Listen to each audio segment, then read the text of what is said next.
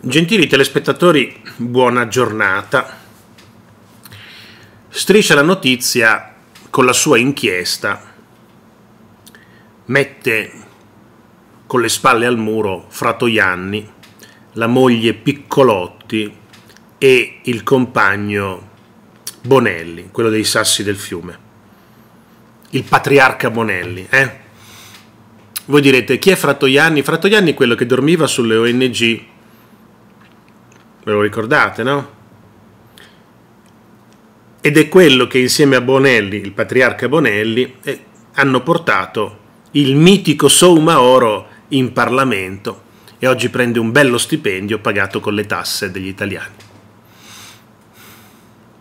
L'inchiesta di Striscia la Notizia dice su Soumaoro Frattoianni, la Piccolotti, la moglie, Bonelli sapevano tutto. Beh, il sospetto che sapessero tutto c'era, però adesso arriva la testimonianza. Pinuccio, l'inviato di Striscia la Notizia, riaccende i riflettori sul leggendario ehm, deputato con gli stivali, Abu Bakr Somaor, quello col pugno, i stivali erano prestati comunque da uno che veramente lavorava nei campi, che poi gliel'ha anche chiesto indietro, dammi, ridammi gli stivali.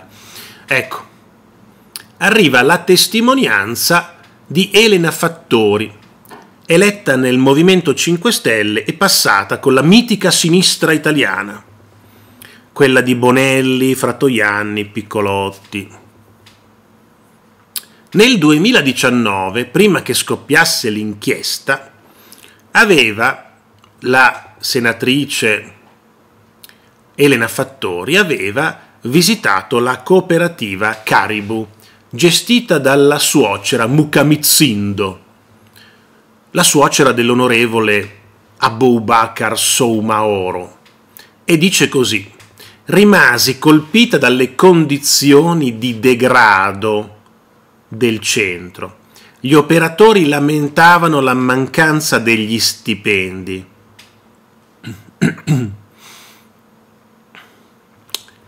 e poi ribadisce Fratoianni che con Bonelli ha candidato Soumaoro alla Camera, non poteva essere all'oscuro di tutto, perché io, dice la Fattori, avevo avvisato lui e anche la moglie di Fratoianni Piccolotti.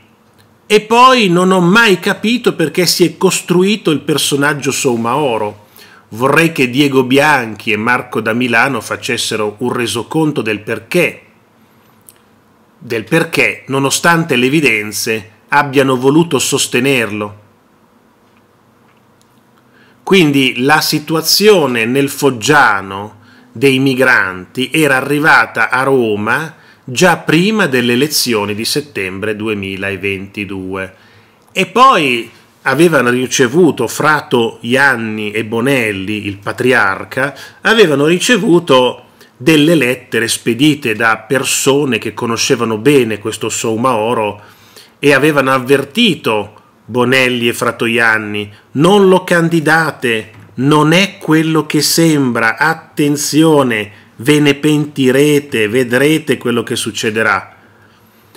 Lo hanno eletto lo stesso, senza neanche rispondere alle email di queste persone. Pensate che uno era anche un parroco, cioè non è che era un mitomane, era un parroco che, che diceva attenzione, non è quello che sembra, attenzione, non candidatelo. E loro lo hanno candidato lo stesso, sapendo quello che vi ho appena raccontato. Elena Fattori si chiede perché non ho mai capito perché si è costruito il personaggio Soumaoro. Beh, Elena Fattori, è semplicissimo perché si è costruito il personaggio. Salvini stava per tornare al governo con un governo di destra, sarebbe diventato poi vice premier, era matematico, e allora avevano bisogno dell'anti-Salvini, l'uomo di colore che arrivava dall'Africa, che era stato un bracciante e sembrerebbe che non lo sia mai stato, quindi un sindacalista di immigrati africani che avevano già messo sulla prima pagina dell'Espresso dove c'era Soumaoro e Salvini con scritto questo è un uomo e no, come dire Soumaoro è un vero uomo e Salvini non lo è, quella famosa copertina dell'Espresso, ecco, il personaggio Soumaoro serviva come anti-Salvini, doveva essere questo astro nascente della sinistra che avrebbe poi portato una valanga di voti a sinistra italiana perché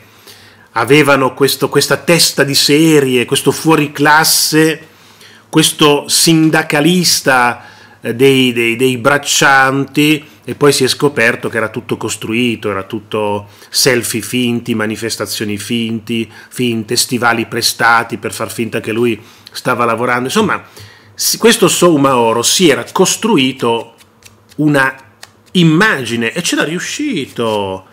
E questi qua di sinistra italiana avevano fatto finta di, di credere che tutto era vero, perché a loro serviva, a loro serviva l'anti-Salvini da poter portare in Parlamento e dire dai, parla tu, distruggi, demolisci, fai sentire a quello là davvero le cose come...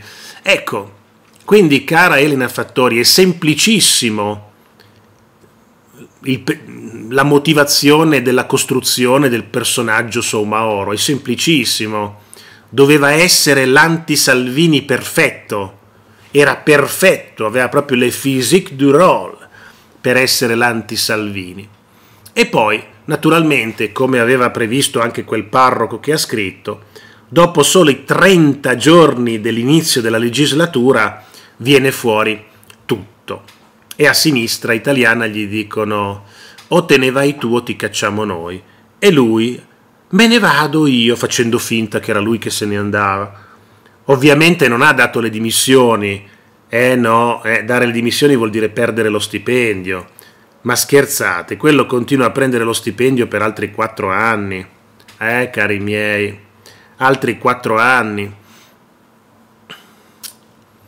intanto lui fa finta che non sia mai successo nulla.